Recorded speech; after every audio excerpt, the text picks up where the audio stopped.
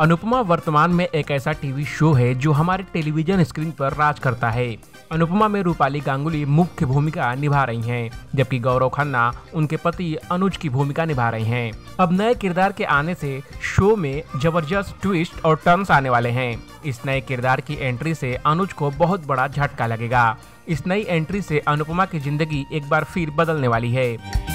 अनुपमा में, अनुपमा की ज़िंदगी कुछ समय पहले काफ़ी मुश्किलों में थी, लेकिन कहते हैं ना कि दुख कितने दिन तक रहेगा।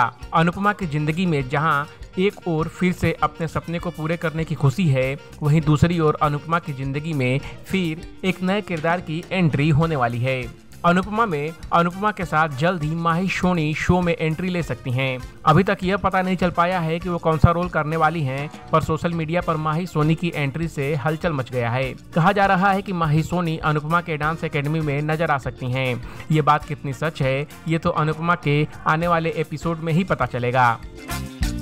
माही सोनी एक बाल अभिनेत्री हैं, जिन्हें पहले परमावतार श्री कृष्ण तुझसे है राबता और तेनालीरामा जैसे धारावाहिकों में देखा गया था, लेकिन उन्हें अपने करियर की शुरुआत dance reality show super dancer में एक प्रतियोगिता के रूप में की थी।